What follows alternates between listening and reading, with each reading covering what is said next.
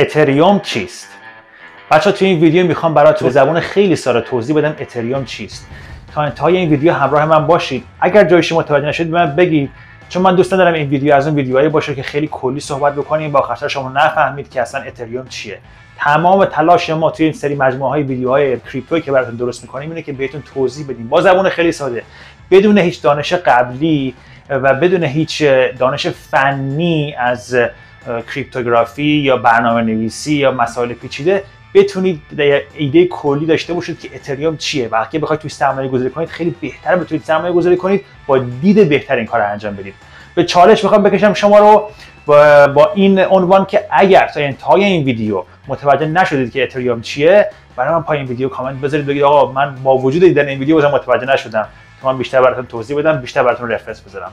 بریم تا انتهای این ویدیو و در مورد اتریوم کلی به هم صحبت بکنیم.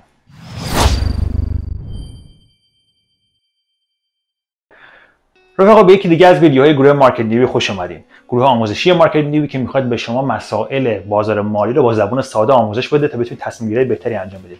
نمی‌دونم دیدید این ویدیوهای مختلف و جاهای مختلف که یه سری چیزا رو عنوان می‌کنن از اینترنت یا حالا یه ترجمه می‌کنن یا حالا از منابع دیگه. فقط میان بازگو می‌کنن چیزایی که یه جای دیگه خوندن بدون اینکه خودشون متوجه بشن چی آخرش شما ویدیو رو نگاه می‌کنید میگه خب حالا این 4 5 تا اصطلاح انداخت مثلا اتریوم ارز دیجیتالی است که از زبان سالیدیتی استفاده می‌کند و در و توسط یک سرور مرکزی یک کامپیوتر جهانی را به وجود آورده است. اینا اینا که میگری چی؟ من اصلا من نما که نفهمیدم چی شد. من که نمی‌دونم شغلم بونگایی سرور جهانی اینجور چیزا بدونم چیه.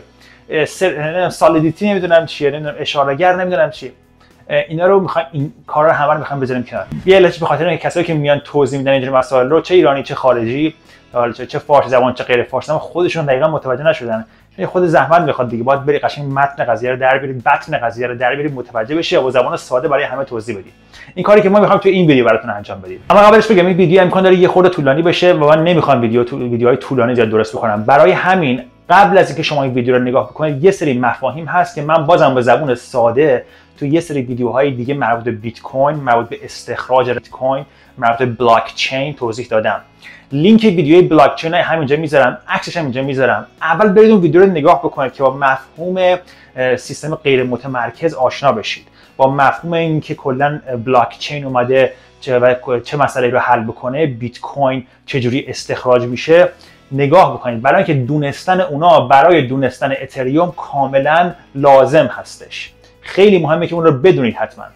یه مسئله دیگه اینه که می‌خوام راجع به proof of stake صحبت بکنم و proof of work و حالا ممکنه مفاهیم پیچیده باشه ولی اگر دو تا ویدیویی که راجع به استخراج بیت کوین و بلاک چین هست که راجع به proof of work صحبت کردن چرا ما نیاز به proof of work و الگوریتم توافق همه جانبه داریم؟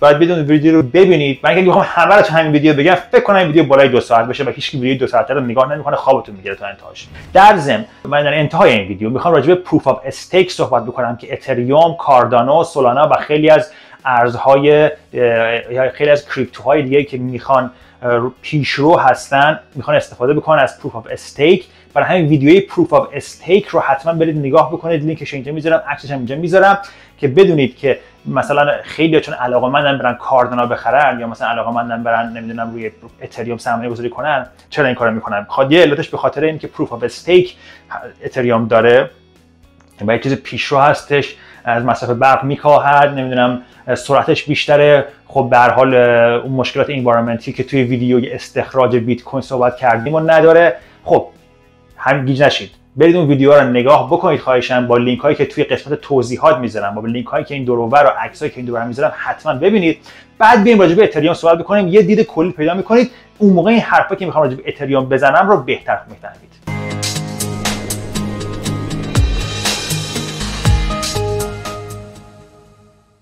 خب رفقا بیایم ویدیو رو با مثال شروع بکنیم. بونگاهی معاملات مسکن. شما که خریدار و فروشنده. خریدار می‌خواد یه خونه رو بخره فروشنده می‌خواد یه خونه رو بفروشه. حالا توی کانادا و آمریکای شمالی که ما هستیم و تو آمریکا هم که می‌دونم اینطوریه فروشنده که بخواد خونه رو بفروشه کار راحت دیگه. میگه یه بونگایی می‌گیره خونه رو میده دستش میگه اینم خونه مشخصات خونه من تو برو برام مشتری پیدا کن. و بعد که مشتری پیدا می‌کنه 5 درصد قیمت خونه رو این بونگایی کم می‌کنه از قیمت مثلا یه خونه 600 هزار دلار میارزه 30 هزار دلارش باید برداره دسته بده به بونگایی که این بنگاهی براش خریدار پیدا کرده. حالا دقت بکنید خیلی موقع این خیلی از بنگاهی آدمای خوبی ان دم در دارن به قول معروف سعی می‌کنن که به نفع موکل خودشون که به نوعی فروشنده از کار بکنن. اما خیلیشون من به شخصه میشستن توی همین آمریکای شمالی که با بنگاهی طرف خریدار با همدیگه توافق می‌کنن. اون میگه من اینو راضی می‌کنم اونم میگه من اینو راضی می‌کنم. قیمتشون به هم نزدیک می‌کنم تا این معامله جوش بخوره. کارش اینجوری که این 5 درصدی که از فروشنده می‌گیرن با هم تقسیم می‌کنن.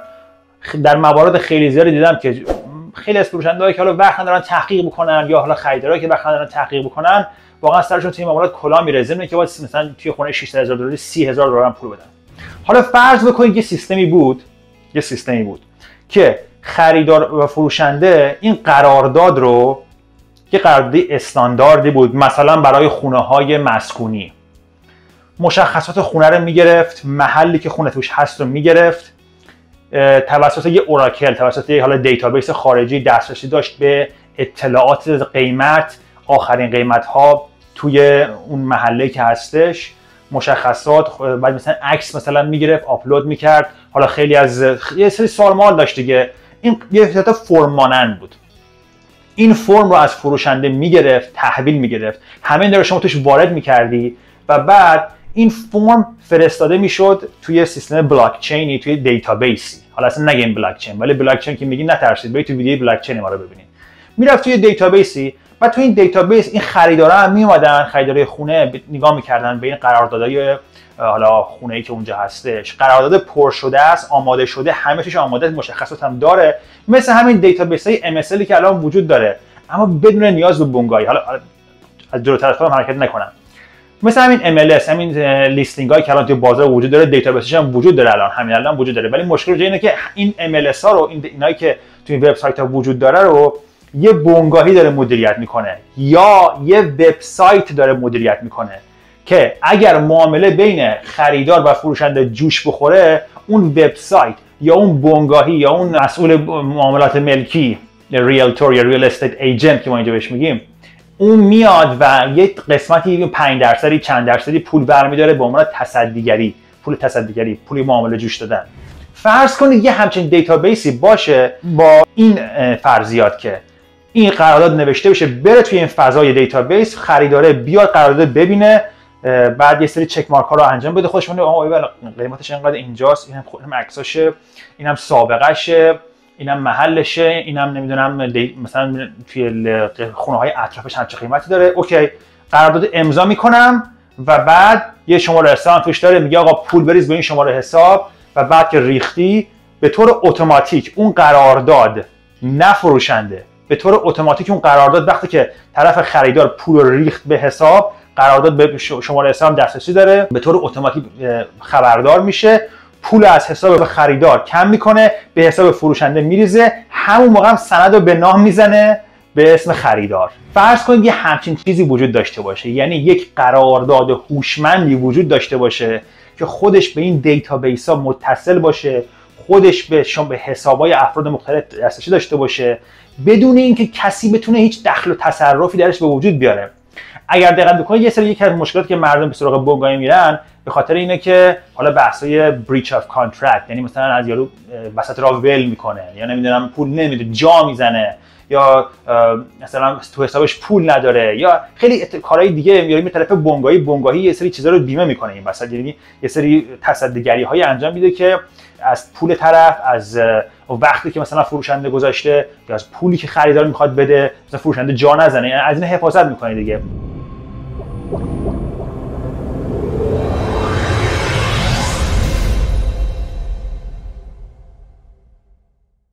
فرض کنید به جای بنگاه یک قرارداد هوشمند کامپیوتری باشه بخواد این کار انجام بده. و حالا به تبع اون fee که می‌گیره fee خیلی خیلی کمتر هست چون یه سری چیزای یه سری الگوهای آماده هستش دیگه. فروش خونه چیز خیلی پیچیده نیستش که. که این کار اتوماتیک انجام بده. و تایید صلاحیت تایید صحت سنجی اون قرارداد هم توسط خود سیستم کامپیوتری توسط این database بزرگ توسط این بلاک چین بزرگ انجام بشه. به این میگن که قرارداد هوشمند. بدون نیاز به نفر سالس بدون نیاز به وبسایت بدون نیاز به کسی که بیاد این مثلا یه 5 درصد بگیره سر شما و سر فروشنده رو و سر خریدار کلا بذاره قیمت رو به هم نزدیک بکنه. همه چی خیلی اصولی و غیر قابل بازگشت غیر قابل بازگشت. وقتی که طرفین وارد معامله شدن دیگه قرارداد هیچ انعطافی نداشته باشه که بخواد برگرده که حالا یه سری ریزکاری به وجود بیاد. این یه مثال. مثال دوم دیدید دیدید مثلا Fiverr یه سری از این وبسایت هستن مثل Fiverr یا وبسایت که مثلا freelance contractor می‌گیرن. مثلا شما فرض کنید می‌خواید حتی یه سری وبسایت هستن که مثل tutor doctor tutor نمی‌دونم هم چیزایی. که شما میرید و یه این دانشجوها میرن یه پروژه قبول می‌کنن بعد اینا مثلا یه سری که می‌خوان پروژهشون رو که دیگه انجام بدن میرن پروژهشون رو می‌ذارن توی یه database ی یا وبسایتی. دانشجوها میان تو اون وبسایت login و user باز می‌کنن و کسایی که حالا برنامه نویسا یا کسایی که expert تر هستن و میان میگن آقا ما این پروژه شما رو انجام میدیم اینقدر پول می‌گیریم. یا مثلا حتی حتی چرا راه دور بریم؟ حتی ایر بی ام بی دیگه ایر بی ام همینه. مثلا شما می‌خوای یه خونه اجاره بکنی. بخوای بریم مسافرت. میری Airbnb user login login password باز می‌کنی و بعد تو Airbnb عضو میشی. صاحب ها هم میان اونجا حساب باز می‌کنن. شما رو به هم متصل می‌کنه. کسی که می‌خواد پروژه برای شما انجام بده کسی که می‌خواد خونه به شما rent بده اونجا user password و یک اکانت داره. و شما هم میری اونجا user password اکانت داره اینا رو شما رو به هم متصل می‌کنه.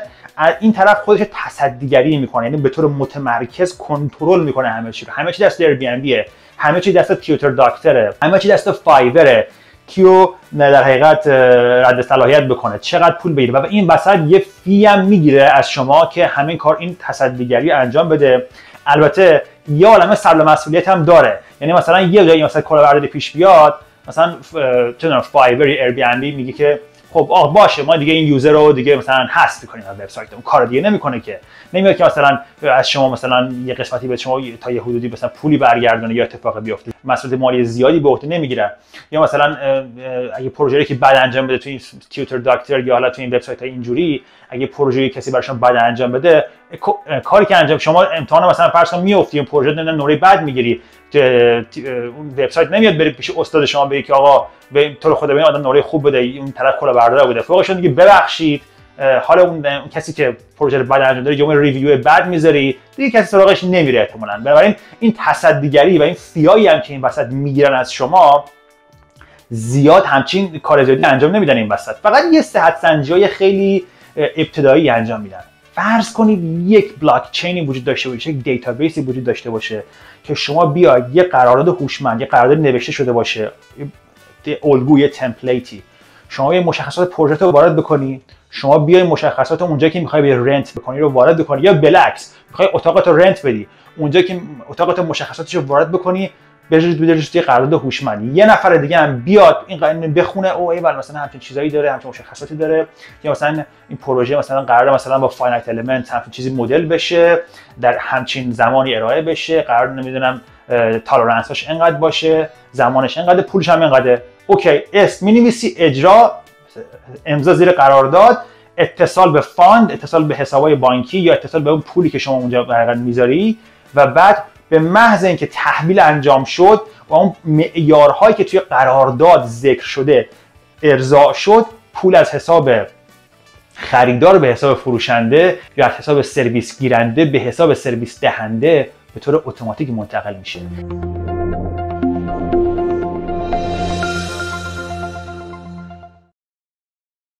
این همون مفهوم قرارداد هوشمند هستش که همه در راجع صحبت می‌کنن به smart contract صحبت می‌کنن بدون اینکه نیاز به تصدیگر وجود داشته باشه. همینجا می‌خوام پرانتز بزنم به مفهوم وب 3 شاید در آینده راجع به وب 3 یک ویدیویی دیگه ساختم ولی همینجا این از من داشته باشه که وب 3 در حقیقت یه همچین چیزی هست. ببینید Web One که همون version اولیه اینترنت بود که مثلا توی دهه دهه 90 آخر آخر دهه 80 تا دهه 90 اومده بازار. یا به هم ملت می‌رفتن سایت باز می‌کردن سایت www نمی‌دونم marketnewbie.com pejman.com ارائه می‌دادن و یه سری هم ویزیت می‌کردن این صحبت ها بعد وب تو نسل دوم وب اومد که سایت های مثل Airbnb مثل همین تیوتر داکتر مثل اپل مثل آمازون فیسبوک اینا آمدن با قدرت زیادی که داشتن.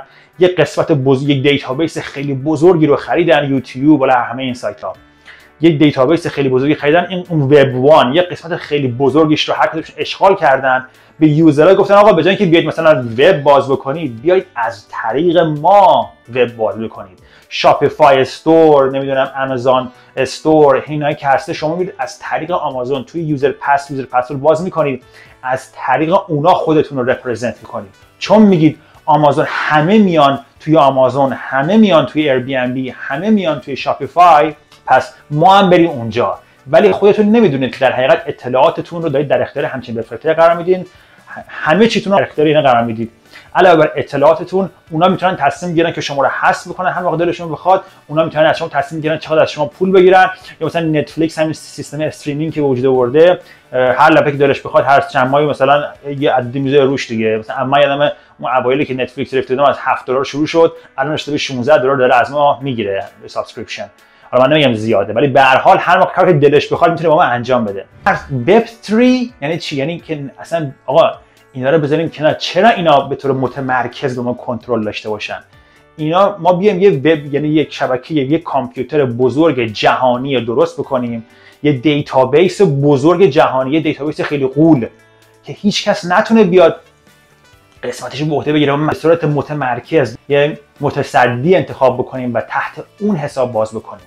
ما بیایم توی این database همه به صورت مستقیم به صورت peer to peer با همدیگه ارتباط داشته باشن و خود سیستم به نوعی به صورت طراحی شده باشه که این ارتباطات بین افراد رو صحت و سلامت ارتباطات رو تضمین می‌کنه. به جای اینکه یک تصدیگر وجود داشته باشه به آمازون مثلا بگه آقا من تایید می‌کنم. خب ببین من اینایی که من حساب باز می‌کنم به بی میگه. اینا به آیدی آپلود می‌کنن من می‌دونم کی هستن می‌دونم آدرسشون کجاست. من تا یه حدی تضمینشون می‌کنم. نباید دیگه نیاز هم چیزی وجود داشته باشه. باید خود سیستم ذاتا همچین ویژگی رو داشته باشه. حالا ممکنه بگید چطوری؟ می‌خوام تو این ویدیو در ادامه راجع بهش صحبت بکنم. تا حدی هم راجع به سیستم غیر متمرکز و متمرکز برای بیت کوین توی ویدیوی بلاک چین که بازم عکسش اینجا می‌ذارم و توی قسمت توضیحات هستش صحبت کردیم. اون ویدیو رو حتما نگاه بکنید. بعد اگر من یه قسمتی از اون رو جا انداختم شما می‌تونید ادامهش توی این ویدیو ببینید یا اینکه اگر یه سری تکراری شما ببخشید ولی خب خیلی مهمه که این که میگی خب چه خوب چه جوری این کار انجام میشه رو می‌تونید توی اون ویدیو هم متوجه بشید. در ادامه این ویدیو هم می‌تونید با همدیگه راجع به وجود اتریوم و بلاک چین اتریوم و حالا سیستم کار اتریوم که چجوری به وجود اومده می‌خواد این قضیه رو درست بکنه بیشتر آگاه خواهید شد.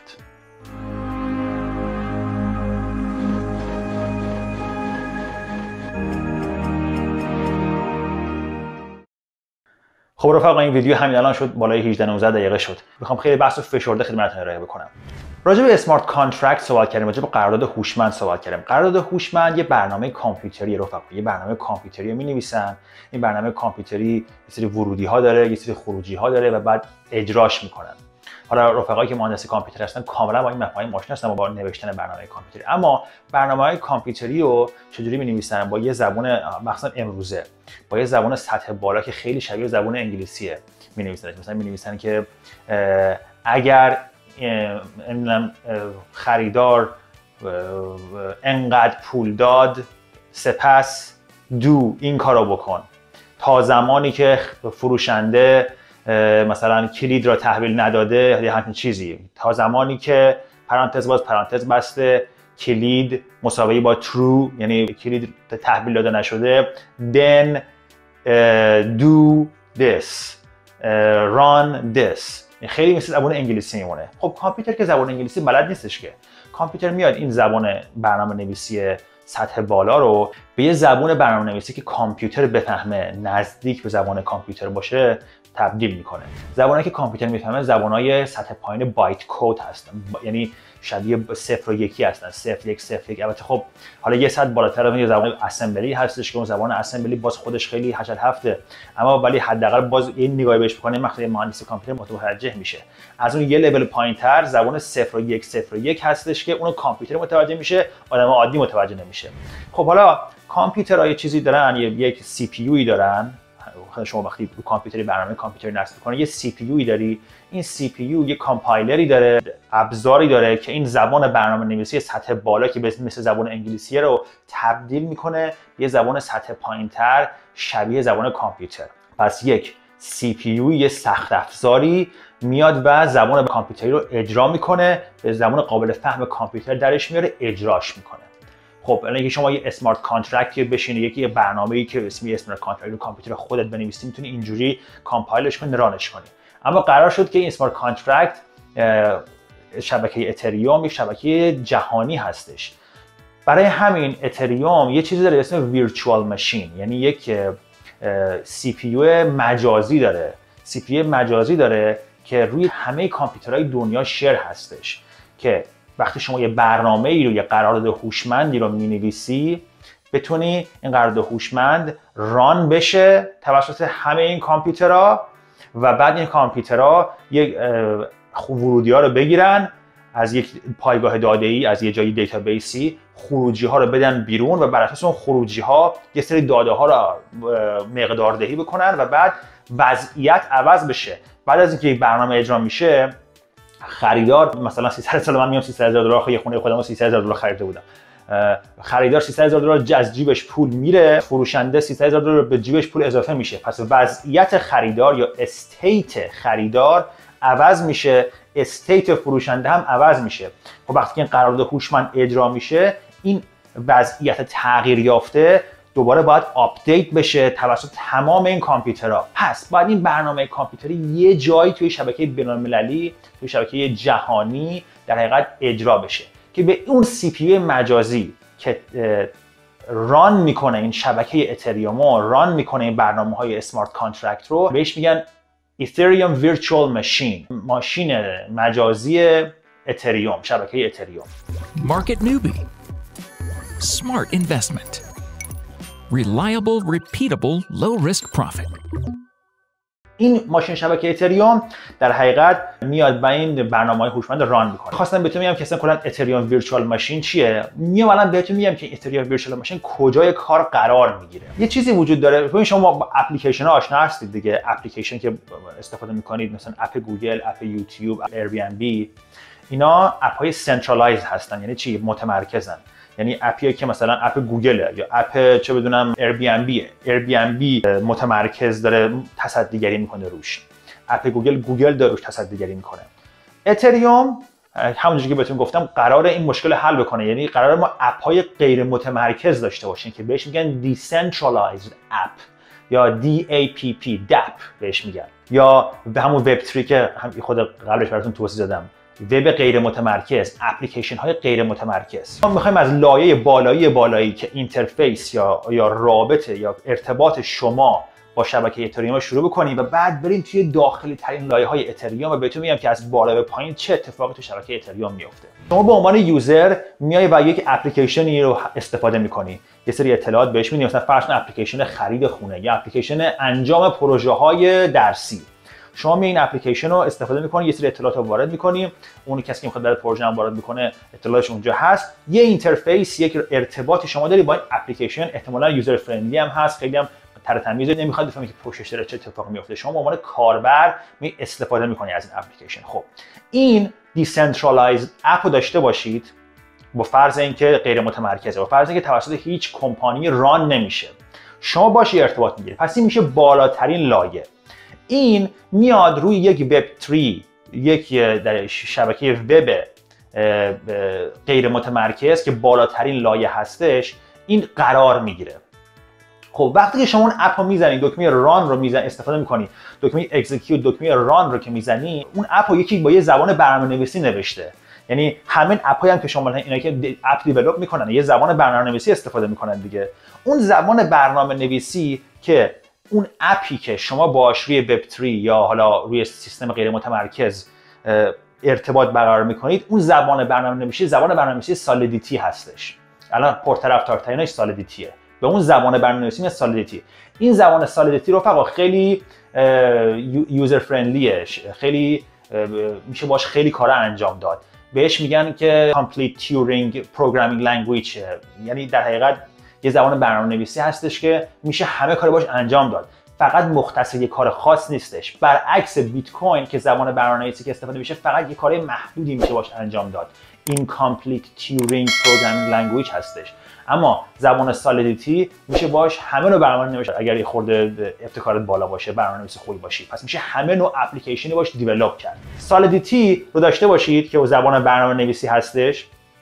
این سالیدیتی میاد پشت این وب 3 یا پشت اون اپلیکیشنی که ارتباط با شما می‌گیره قرار می‌گیره و یه لایه پایینتر اون زبان برنامه نویسی اپلیکیشن هست. خب شما اپلیکیشن اجرا می‌کنی اون Solidity که در حقیقت زبان برنامه نویسی اون, اون قرارداد هوشمند متن یا به وجود آورنده اون اپلیکیشن هستش اجرا میشه. اجرا میشه به زبان Solidity نوشته میشه و اجرا میشه. یه developer app با Solidity مینویستش اجراش می‌کنه. پس یه لول اومدیم پایینتر زبان برنامه‌نویسی Solidity بعد که اون اجرا شد یه اتفاقایی داره میفته دیگه. حالا کجا اجرا میشه؟ این روی اون یه لایه پایینتر که همون Ethereum یا اتریوم virtual machine باشه روی اون اجرا میشه که اون یه زبان دیگه هستش که زبانی که یه خورده هشل هفتره آدم معمولی زیاد متوجه نمیشه. شما برای اینکه اون اتریوم virtual machine رو نصب بکنی که اون Solidity رو اجرا بکنه بعد به زبان بایت کد درش بیاره که اول عرایزم گفتم شبیه زبان برنامه نویسی که کامپیوترش بکنه کامپیوتر متوجه بشه اون زبان بهش میگن گث G E T H. اینجوری نوشته میشه. یه زبان گثی هست. خب اون میاد یه لول پایینتر از اون زبان سالیدیتی اون بالا بازم قرار می‌گیره. سالیدیتی که اجرا میشه میاد و نتایجش میاد میشینه روی گث میاد روی اون گث یا اون اتریوم ویرچوال ماشین که توسط Geth develop شده.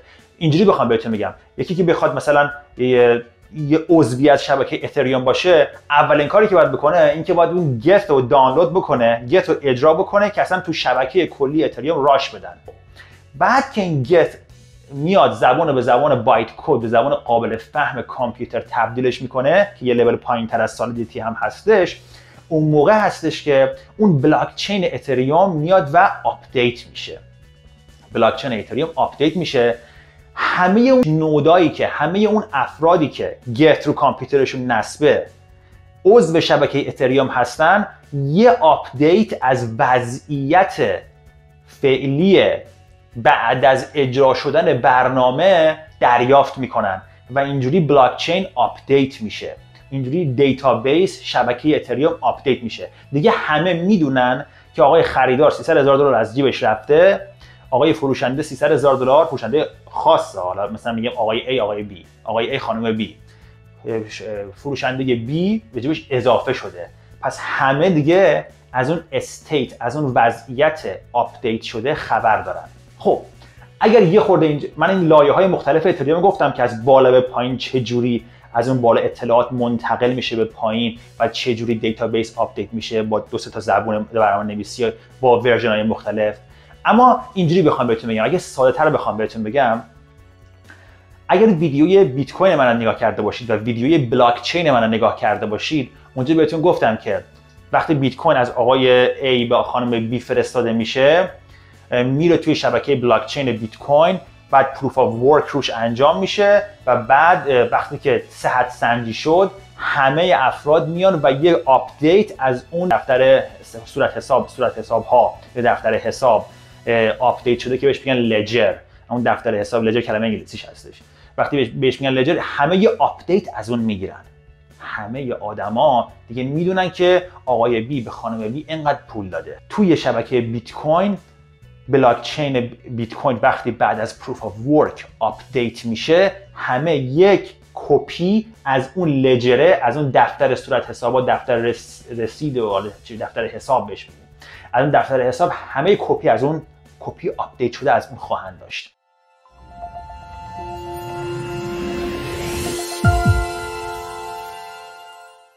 اتریوم یه version بالاتر از اینه. یعنی بیت کوین تعمیم یافته بهش بگید. یا اینکه اینجوری بگیم بیت کوین version خاصی از اتریوم هستش. می‌خوام به مثال استفاده بگم. حالا در حقیقت اینطور نیستا. ولی یک یک کاربرد خاص اتریوم می‌تونه انتقال پول باشه.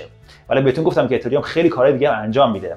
توی بیت کوین اون دفتر حسابه هی update میشه در اختیار همه قرار می‌گیره بعد از proof of work توی اتریوم اون وضعیت تغییر یافته.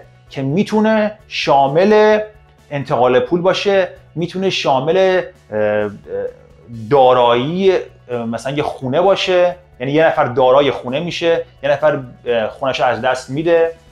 یه نفر مثلا یه پروژه انجام شده تلقی میشه یه پروژه تحویل داده شده تلقی میشه. یه وضعیت تغییر می‌کنه دیگه. وضعیت یعنی چی؟ یه وضعیت آ داریم پروژه تحویل داده نشده. یه وضعیت B داریم. پروژه تحویل داده شده. این میشه وضعیت A وضعیت B. تو شبکه اتریوم وقتی که پروژه انجام میشه وضعیت از حالت A به حالت B تغییر پیدا می‌کنه. پس به جای اینکه فقط یه دفتر حساب که پول توش رد و میشه update بشه توی شبکه اتریوم توسط اون اتریوم virtual machine که کامپیوترهای مختلف دنیا وصلن از CPU های کامپیوترهای مختلف دنیا که روشون زبان Geth البته زبان Geth یکیشون هست بهتون بگم. زبان های مختلف client های زیادی وجود داره. همه اون کامپیوترها اون شبکه بلاکچین یک کپی update شده از اون وضعیت تغییر یافته دستشون خواهد اومد. دیگه همه می‌دونن که این وضعیت تغییر پیدا کرده. یه نفر دارا شده یه نفر ندار شده. یه نفر پروژهش انجام شده یه نفر پروژه رو انجام داده. این وضعیت تغییر می‌کنه update میشه در اختیار همه قرار می‌گیره. و اگه یه نفر بخواد بگه نه این کار پروژه انجام نشده همه میگن نه ما یه کپی داریم یه کپی از وضعیت آخرین وضعیت update شده داریم. همه می‌دونن که این انجام شده. پس یک بار دیگه برای جمع‌بندی بهتون بگم که اتریوم یه version تعمیم یافته بیت کوینه که علاوه بر انتقال پول شما یه سری کارهای دیگه هم انجام میده. به جای اینکه ledger یا دفتر رسید حساب هی آپدیت بشه توی شبکه بلاک چینش بلکه machine state آپدیت میشه. machine state چی توش داره؟ یه سری داده داره که می‌تونه دارایی باشه می‌تونه پول باشه می‌تونه رضایت و نارضایتی باشه. خیلی چیزای دیگه باشه مفاهیم قراردادی باشه علاوه بر پول که هی ماشین آپدیتش می‌کنه آپدیتش می‌کنه هی میره جلو. اپلیکیشن داره که شما میبینیدش لایه بالایی یه دونه زبان Solidity داره که این اپلیکیشن رو run می‌کنه. تبدیلش می‌کنه به ورودی یه زبان برنامه‌نویسی دیگه به اسم Geth روی کامپیوترهای مختلف در نقاط مختلف دنیا وصله. این کامپیوترهای مختلف در نقاط مختلف دنیا که یک شبکه بزرگ غول کامپیوتره بهش میگن کامپیوتر جهانی World Computer این شبکه رو به وجود آوردن یه آپدیت انجام میدن و بعد دیگه همه می‌دونن که الان وضعیت تغییر کرده. به جای اینکه دفتر حساب آپدیت بشه وضعیت وضعیت ماشین وضعیت اون شبکه هی آپدیت میشه هی آپدیت میشه. خب همین که بهتون بگم اون شبکه به یک سری داده یا پایگاه داده هم وصله. یعنی اون شبکه خودش که پایگاه چیز نداره که چی میگن؟ حافظه نداره که اون شبکه. CPU یه CPU گسترده هستش که هزاران آدم به هم دیگه وصلن. هر کامپیوتری به یک هاردی هم نیاز داره که هارد داشته باشه دیگه. خب اتریوم از هاردهای از دیتابیس های مختلفی استفاده می‌کنه که اطلاعات ذخیره بکنه. مثلا گوگل یک دیتابیسی در اختیار اتریوم قرار داده. حالا البته خودش این قضیه یه جورایی عجیب غریبه. یعنی قرار بود که ما از گوگل استفاده نکنیم. ولی خب نه نگران نباشید. این استفاده فقط از استفاده از گوگل دیتابیس گوگل یعنی از هارد گوگل استفاده میشه. قدرت تصدی‌گری به گوگل نخواهد داد. خلاصه یکی از اون دیتابیس دیتابیس گوگله که این Ethereum Virtual Machine که شبکه گسترده از کامپیوترها هستن که این Geth روشون نصب دارن با هم دیگه هی ارتباط برقرار می‌کنن با هم دیگه هی صحبت می‌کنن. از این دیتابیس هی اطلاعات می‌گیره بعد اطلاعات براش میفرسته آپدیتش می‌کنه هی آپدیتش می‌کنه و بعد همینجوری هی وضعیت آپدیت میشه. هر بلاک یه صورت وضعیت کلی آپدیت شده توش خودش داره. و هی اینجوری هی شبکه بلاک چین به بلاکاش اضافه میشه و هی بزرگ و بزرگ و بزرگتر میشه. حالا یه مورد خاصش اینه که ممکنه که به یکی پول بده. اون موقع یکی پولدارتر میشه مثلا اتر یه نفر به یه نفر دیگه اتر میفرسته. یه نفر صاحب اتر بیشتری میشه یه نفر از اتراش کمتر میشه که خود اون باز یه وضعیت آپدیت شده هستش.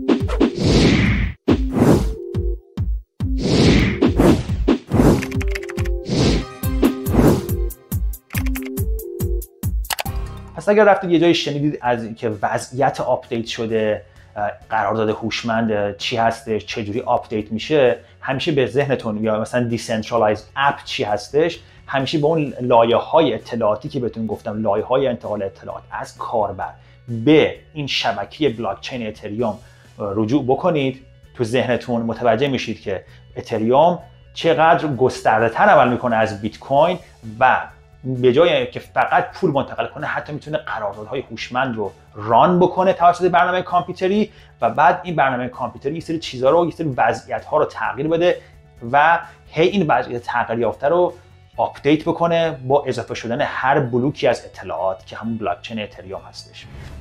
احتمال داره تا اینجایی که براتون توضیح دادم بگید خب این چجوری؟ یعنی چی؟ مثلا فرض کن آقا الان من خریدارم یه نفرم فروشنده است. اصلا این شبکه اتریوم چجوری هویت منو تایید می‌کنه؟ و بعد که هویت من تایید شد اینکه میگی که مثلا بلاک آپدیت میشه چجوری این بلاک رو آپدیت می‌کنه؟ اگه که می‌خواست تقلب کنه چجوری تقلب میدورش می‌گیره؟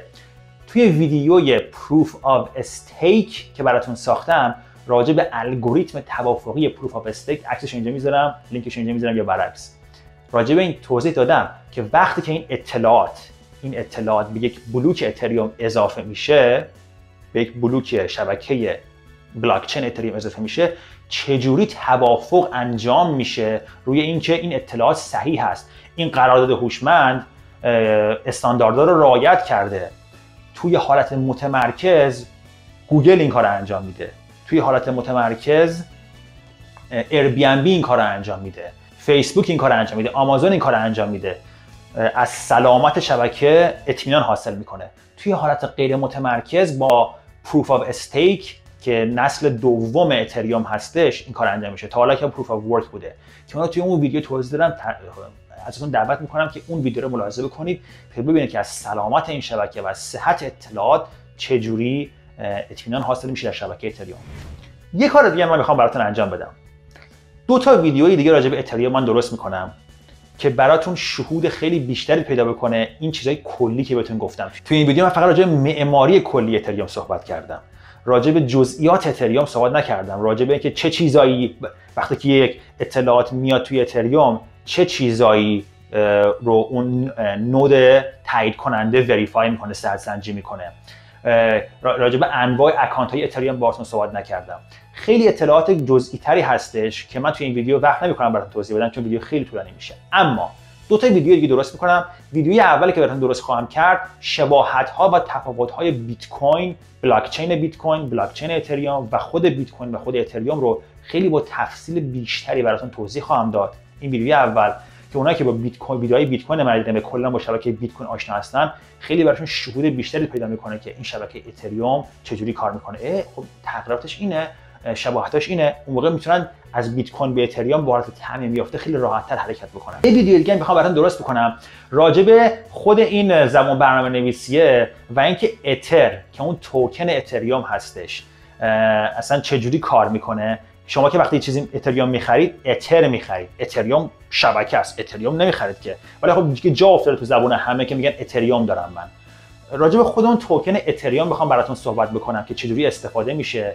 وقتی که شما یه برنامه رو می‌نویسی برنامه سالیدیتی رو می‌نویسی اتر چجوری یه نفر به نفر دیگه منتقل میشه و بعد چه نقشی اتر داره توی قراردادهای هوشمند. ممکنه یه قرارداد هوشمند خیلی حجمش بالاتر باشه خیلی قرارداد پیچیده‌تری باشه. آیا مثلا اون نوشتن اون قرارداد هم یه پولی می‌بره یه متد اتر می‌بره تا یه قرارداد خیلی ساده مثلا انتقال زمین یا مثلا انتقال پول یا هر چیز دیگه ای راجع یه سری جزئیات بیشتر برای کسایی که علاقه‌مندن بیشتر از اتریوم و اتر سر در بیارن یه ویدیو دیگه هم براتون راجع به اون ویدیو صحبت خواهم کرد. حالا شاید بعد از دیدن اون ویدیو خودتون بتونید توکن خودتون رو شبکه بلاکچین اتریوم develop بکنید یا حداقل ایدهش رو بگیرید. بچه‌هایی که تو کار ارز دیجیتال هستن یا کریپتو هستن می‌دونن که توکن های خیلی زیادی روی شبکه بلاکچین اتریوم سوار شده و استفاده کرده شبکه بلاکچین اتریوم. خیلی راحت می‌تونید با زبان Solidity خودتون یه دونه برنامه یه کد بنویسید. اصلا توکن خودتون رو به وجود بیارید. خیلی راحت میشه این کار انجام داد. فقط باید ببینید کی می‌خره اون توکنی که شما درست کردین. باید یه خریدار پیدا بکنید و خب حالا یه سری بحثا می‌خوام راجع به initial coin offering بکنیم یا ICO که وقتی یک توکن به بازار ارائه میشه چجوری fundraising روش انجام میشه. این صحبت ها منتظر این دوتا ویدیوی بعدی که این ویدیوی اتریوم معماری اتریوم و وب 3 رو تکمیل می‌کنه باشید تا انشالله این بحث بیشتر براتون جا بیفته. خیلی متشکرم که این ویدیو دقت کردید تماشا کردید. باز اگر سوال دارید و قسمتی از صحبت های من نامفهوم بود پایین ویدیو کامنت بذارید تا من بیشتر براتون توضیح بدم. واقعا انقدر انقدر دنیاش دنیای گسترده هستش که نمیشه توی ویدیوی حتی 30 40 دقیقه همه جزئیات گفت. تشکر می‌کنم و در ویدیوی بعدی در خدمتتون خواهم بود.